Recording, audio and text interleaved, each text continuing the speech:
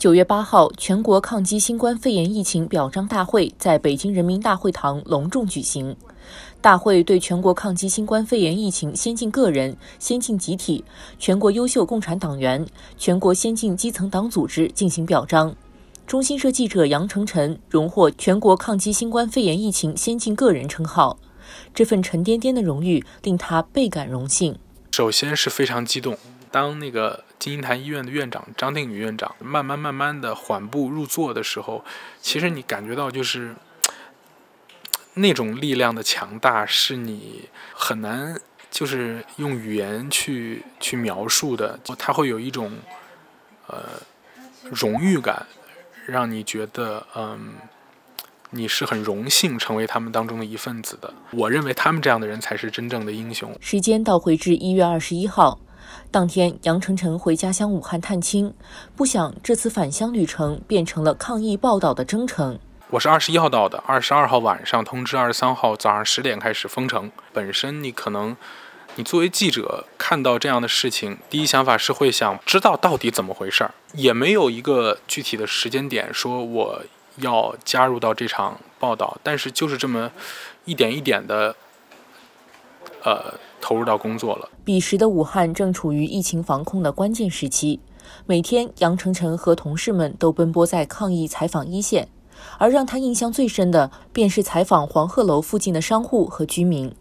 面对疫情，识大体、顾大局的武汉人令他十分动容。我印象很深的就是我们去采访户部巷的一个志愿者，然后问他采访他里面的商户，问他你们的生活怎么样？你会觉得他们那个识大体，他们会觉得。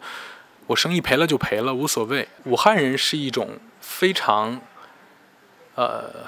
大大咧咧，或者说是非常。泼辣的这种性格，其实对也对我自己的家乡，对武汉有重新的认识吧。为做好抗疫宣传报道工作，一月二十一号，中新社启动应急报道机制，选调骨干记者，委派副社长夏春平赴武汉组织前方报道，各方密切配合，全面制作推出文、图、视频、新媒体、直播、纪录片等多品类新闻产品。巨大的工作量难免令人焦虑，但杨成晨和同事们始终坚守一线，记录下每一个抗疫瞬间。长时间的战役性报道，焦虑是会传递的，是会使你团队不断的想去挖掘一些东西。任何人扔出来一个选题，瞬间就会被领走。然后，对于关键人物的关键采访，呃，对于热点事件的追踪，呃，这个其实是大家都是非常主动的。我们在。中后期的时候，连续采访了多位重磅的专家，呃，最后呈现出来的稿件确实引起了非常高的关注度，而且我认为是在当时那个情况下，对于外界一些，呃呃，希望了解的一些事情，廓清了一些迷雾，呃，起到了一些作用。近三个月来，杨晨晨和中新社前后方报道组协同作战，推出一大批有深度、传播广泛的新闻作品。杨成晨坦言，这段特殊的采访经历令他收获良多，也对记者这份职业有了更深刻的理解。第一个毋庸置疑肯定是勇敢，第二个就是毅力，需要你更加嗯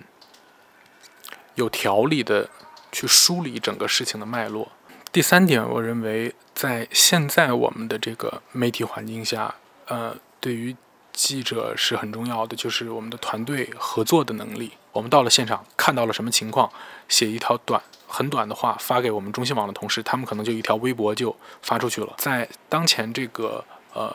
融媒体报道的大环境下，其实团队合作怎么与你所在的机构不同的同事进行更好的配合，呃，显得更加重要。